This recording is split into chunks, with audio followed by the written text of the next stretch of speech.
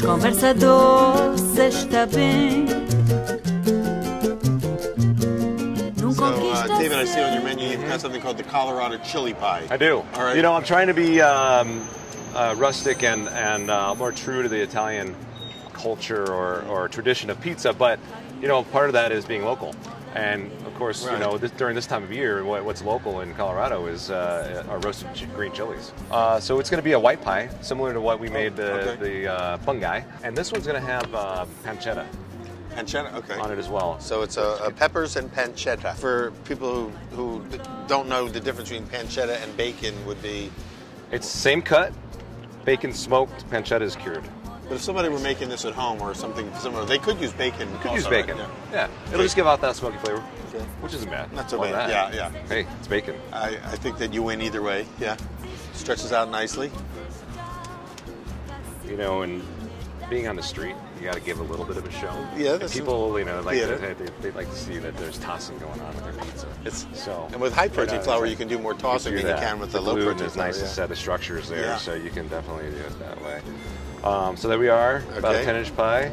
Uh, I will set the bottom first with uh, with my goat cheese. Also, a little more. Go, you use goat cheese on this one as well as on your mushroom pizza. It is on the mushroom pie. Just Just a the few- bottom with the uh, garlic infused olive Some oil, that. and a, a little bit goes a long way. That that all, the garlic olive oil will actually spread on that pizza. Yeah. Uh, when you're using pancetta, the fat, you know, as opposed to bacon, Yeah. the uh, you, you're probably going to pre-cook the bacon before you put it on the pizza, and that'll render the fat down.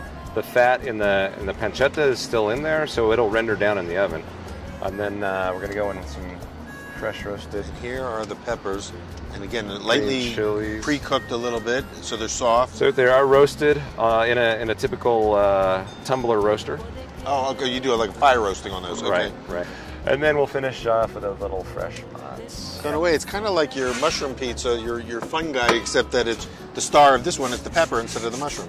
We've got a road out here. It's called Federal Boulevard, and it's Uh-huh. uh, it's full of taquerias and uh, Mexican restaurants, and that's where you find the uh, local uh, pepper merchants. I see. Uh, Colorado's not that far from New Mexico. Is it? Is it pretty much any peppers you get from New Mexico? New that you can Mexico, uh, southern Colorado, in Pueblo. There's a lot of uh, there's a, heavy concentration of Italians in, in Pueblo. That's where you get a lot of the great produce, the, the peppers um, that we're talking about here, and a lot of eggplant from, from that region as well. Like in, when you were in Italy, was there sort of like one or two takeaways that were that have, have infused your ethic of how to cook? Other than cooking with, you know, regionally um, and local foods, it's uh, slow cooking is something I've really uh, taken away as well. And uh, and you know, being fresh, I have a huge garden at home. I love it. Um, all uh, anything tomato. Uh, uh, is something I've, you know, I, I, ju- I just can't get enough of. Right. It's just, it's a seasonal thing, and I love the, the idea that Colorado is so seasonal. And this is it. It's ready to go now. You don't garnish it with anything else. I, I don't garnish with anything else. This is it. This is Okay. uh, this is the pie. Um, a nice a nice spice to it from the, the from the peppers.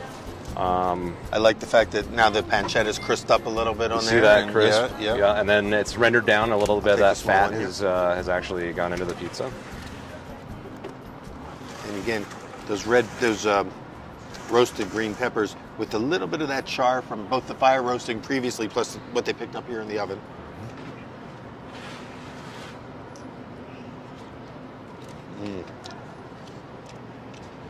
Got something there?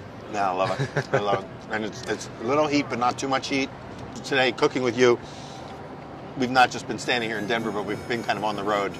Now we're in we're in uh, southern Colorado, northern New Mexico. Mm-hmm. We've we've been to Italy, and you're kind of bringing all of these uh, culinary adventures to your oven Kind here, of full circle around to uh, to this space. and bring it this yeah, space. and then bringing it to That's your what I try customers. to tell people. You know, they like to come to uh, Brava to get away and and uh, and to uh, get away from the office.